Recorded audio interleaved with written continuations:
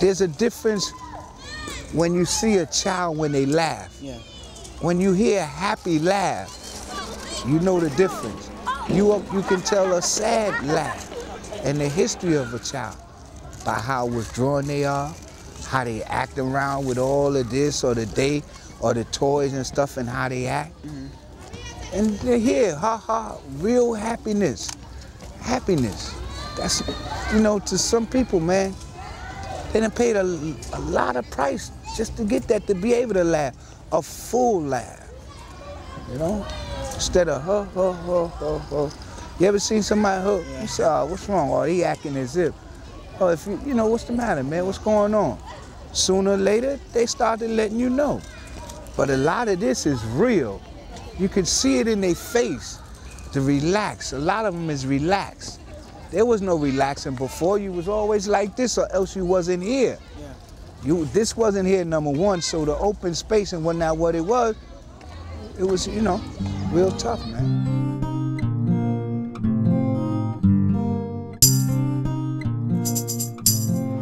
Hello, I'm Keith Burton. My name is Charles Nice Kiss. to meet you. Hi, I'm Keith Burton. Steve K. And I'm just, um, some classmates and I are just doing a short documentary on Crotona Park. And we just, would, we wanted to ask you a few questions. A few questions. My first question is, what major changes has the park experienced in the last 60 years? Uh, I, I think I have seen a, a whole lot of unity, a whole lot of concern, and a whole lot of people just not taking it no more. In 1982, that's when I got involved. I got sick, and that made me stay home for about two months from off of my job. And a person like me, I have to be doing something. So I came outside, and it was like my eyes really, really looked and said, "Yo." And I, yo, and I looked around on the other side. I never forget, I was on the other side, and I was just looking around, and I looked at the daycare. The windows was closed, the shades was down, and I just looked, and I couldn't see nothing but weeds and trees. And where the people at? Where the people? You know, and then that's when I knew something had to be be done This park's coming to get involved. Monterey Daycare, right there. And you see it's right across the street. And they wasn't even allowed because of the fear of the different things that was what happening over there. That's where I, I was right on that gate, right there, in between there. I took a walk because I, like I said, I just came out the hospital. Mm. And I just stopped right there, just looked around. So, oh my God. All around, there's a lot of history here.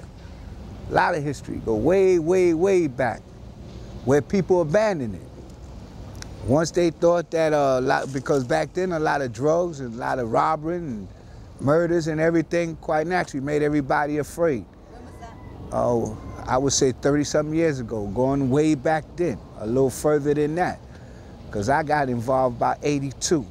I used to live around here and hang around here, and you had to bring baseball bats and everything to play football right across. Then the military had to come in, clean, clean out the surrounding neighborhoods. The police, forget it, it, it- they didn't need, you know, they wasn't doing too much of nothing. They brought in National Guards, and, and, and, people were scared to walk. Bodies and everything found all around, drugs and robbery and rapes and the whole nine. A lot of years, and, uh, and uh, I'll never forget how people was packing up and leaving, packing up and leaving. The ones that stayed was afraid, got whooped up a couple of times, cars blowed up. Uh, this is for real. Shot at the whole nine because you stood your grounds.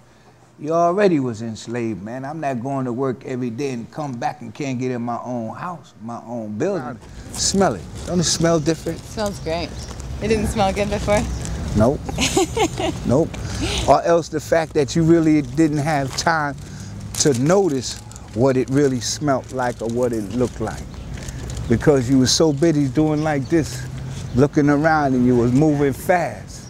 Before you didn't smell nothing but death, trouble, aggravation. So everybody in the community came out and started to turn down the weeds and everything? No, no, no, the Parks Department, but everybody started all the petitions and different things that we had, a lot of meetings and whatnot about working together in unity and, and having some type of pride and, and waking up. And, and, you know, because remember, when you look at the neighborhoods that you have around you, there's a lot of shelter, a lot of welfare, senior citizens, you know, living on low income or else no income. And you got these kind of like poor people. And putting them all in one place without being able to give them the recreation, the education, the counseling, the job training.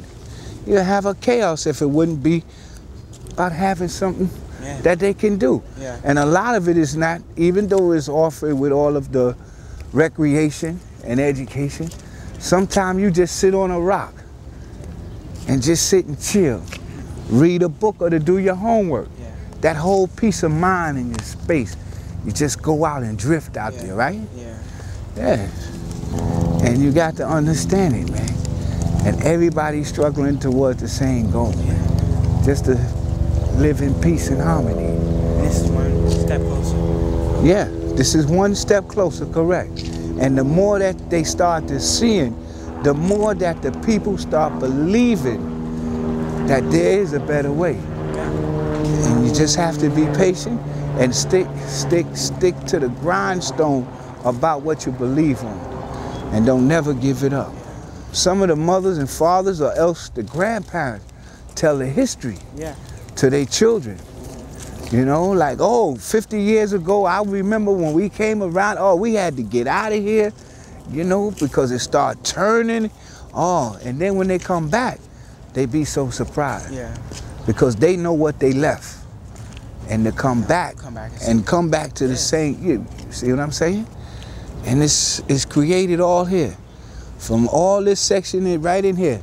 We started from my hallway right there. We started a little thing because kids didn't even have where everybody else go trick-or-treating and, Yeah. and Easter hunts and all of them holidays like that that a kid should enjoy. There was none there. There was none there. Half of them, remember again what I said, a lot of treatment around in here. Families with different uh, uh, uh, drug abuse or alcohol, you know, some mental because of the fact of separation, battered women, and different things, you know. So it was like whatever they had, it was a breeze through if they had that. And we created little different things. And it ran from in the hallway till we finally had it big enough and with the connections and and and and, and uh, how we say outreaching one another start applying for the permits and with the relationship and working together and donating and tripping now we give some scholarships you know they go on out and, and and supply different schools with different things whatever assistance they can the nature center as you see about the education in downtown and constantly trying to inform all of us, Yeah. all of us. You know, the beauty of your trees, the beauty of your nature, your hood, as some people want to call it. Yeah. You understand? The hood. Eh, the hood. You know, but remember, people destroy the hood. Yeah. Other people build it. You know what I mean? And as long as you believe in, I keep on saying it, and believing in that, that alone in itself, you might have one, you might have two. That two bring you four sincere and dedicated people, you know? And they to be the one to latch on to somebody who got the thousands. All you need is somebody to listen to you one time and be able to work hard for what you believe. We all join forces and say, what is wrong? What can we do? Instead of pointing fingers. Yeah. And as the people got involved and the, the Parks Department really see that other people was getting involved in their own community, then we all sat down. There was no pointing fingers here, there, there.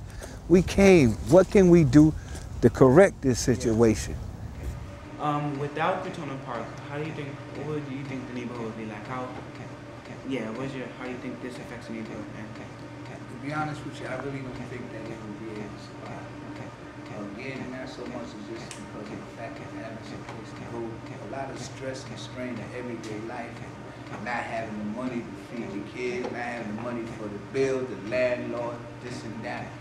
Uh, you need some type of outlet. You need some type of Especially in the peace and quietness. And, and, and when you come to the park, sometime in the morning, afternoon, or even in the evening, there's a, a comfort that you get, like all of it just drains on out. And then when you see the trees and the flowers and different things, you know, I think it maintain the middle stages of your anger and craziness to calm down, put it to the side that tomorrow is a better day. Let me enjoy what I see.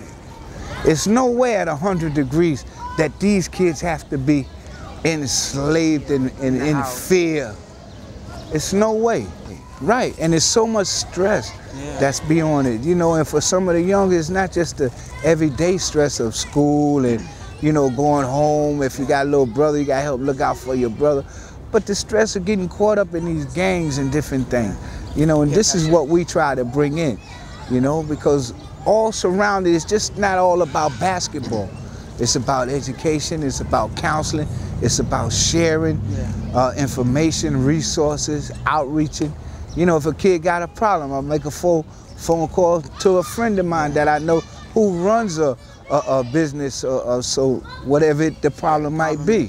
We're gonna have all kind of recreation, bring out the mobile bill again, Parks Department, yeah. through their community service. You know, they come down, they bring the skates, they bring the painting, arts, craft, uh, book story, reading to these kids, you know, educating them, yeah. you know, and, and and under a safe environment. Yeah. Safe environment. And you try to instill that in them, man. Respect everybody, even as they growing up at these kid age. Because when they grow up, they'll respect no color. There's yeah. no color barrel. We all the same. Everybody's entitled to that. And that's all we try to do. Yeah. I've been doing it for so long till my whole body ache. But I don't quit. Yeah. I don't quit. Because I come from all of this. Yeah. But without these kind of daycares, and, and recreation center, where would these kids go yeah. if this park wasn't here and halfway looking where people looking out for it? Yeah. You have all the gangs all in here. You know the drill. Yeah, you have all kind of craziness. You see? And all they want to do is just enjoy. Because school getting ready to come out. When June, matter of fact, really late May, people start drifting. They don't go back in, all the way to the 24th or whatever it is start drifting in the streets, drifting in the streets. Yeah. If you don't have something for them to get involved with, you have a riot on your hands. You have a riot. The peace and the harmony, looking at the kids, that's what the whole struggle is about. And keep on fighting and asking different people to keep on helping and protect the park. Our organization which is Crotona Park North Volunteer slash Future Youth, also other different organizations that I sit on. But this was the one that I created around me along with some other people and my, my wife co-founded. Uh, we started here and branched out all over for everybody. Everybody. Across town, whether it's the 79th, 65th district, whatever district it is, because I believe in this. Everybody, no matter where you live at, you're all the same. Yeah. If I can help you, I help you. I ask you to pass it on to somebody else that you can help. For all people. For all people. Uh, you'd be surprised how many, even outside of, of Afro-American, that been suffering and going through the same thing.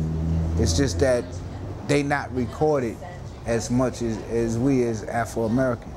You know, uh, we focus again, send it all ages, from little kids to senior citizen, black, white, green, orange. We all in the same boat, and all have been. You know, it's just again, some is just more out than the others. Hey, how you doing, bro? All right. Some is just more out than the others as far as you know, knowing statistics. You know, and knowing.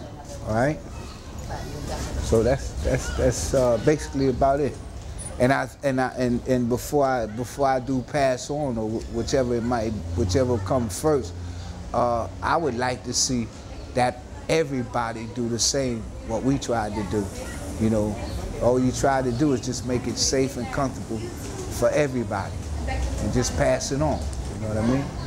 And everybody should get into gear. This way, you can teach yours, she can teach hers, this one could teach that one, and then you all gonna meet in the same parade.